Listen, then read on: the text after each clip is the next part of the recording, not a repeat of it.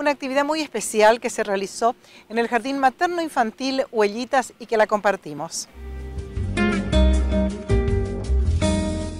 La verdad que estamos eh, muy contentas porque compartimos esta actividad en lo que es la Semana del Día del Animal. Eh, tuvimos la presencia de personal de la policía, quien trajo sus canes para hacer una demostración, a quien aprovechamos para agradecer que se haya hecho presente y que bueno, que pueda compartir todos esos conocimientos que imparten día a día, bueno, que lo puedan compartir con nuestros chicos. Ellos están más que felices de ver justamente estos animalitos y bueno, y las demostraciones que pudieron hacer hoy que las disfrutamos chicos y grandes. Sí, la verdad que la disfrutamos. Creo que si bien los chicos lo disfrutaron, creo que los grandes, los que estuvimos observando, lo pudimos disfrutar un poquito más, eh, ya que podemos apreciar las distintas destrezas, así que realmente estamos muy contentos y bueno, seguimos con todo lo que es esta semana de lo que es una expo animal, ya tuvimos con la primera visita a lo que fue el museo, ahora continuamos con esta visita de las demostraciones de los canes y bueno, seguimos nuestra expo animal con todo lo que es exposición de trabajitos que hicieron los chicos eh, junto a las señas y bueno,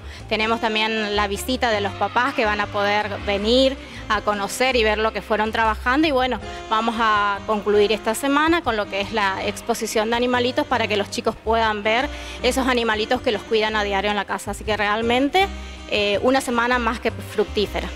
¿Cómo se preparan para el 25 de mayo? Eh, estamos preparándonos ya con muchas novedades. Queremos hacer una gran fiesta para toda la familia. Eh, realmente no queremos adelantar porque también esperamos que sea una sorpresa y en el cual estén involucrados tanto papá, tíos y abuelos. Queremos que es una ocasión muy especial y queremos transmitir justamente ese sentimiento patrio a nuestros chiquitos desde pequeños. Así que nos venimos preparando con todas las pilas y con todas las ganas y bueno, el mes de mayo es un mes muy significativo porque no solo tenemos lo que es el 25 de mayo, sino que también tenemos lo que es el fiesta, la fiesta del Día del Jardinero y de las maestras jardineras también merecen obviamente un hermoso agasajo.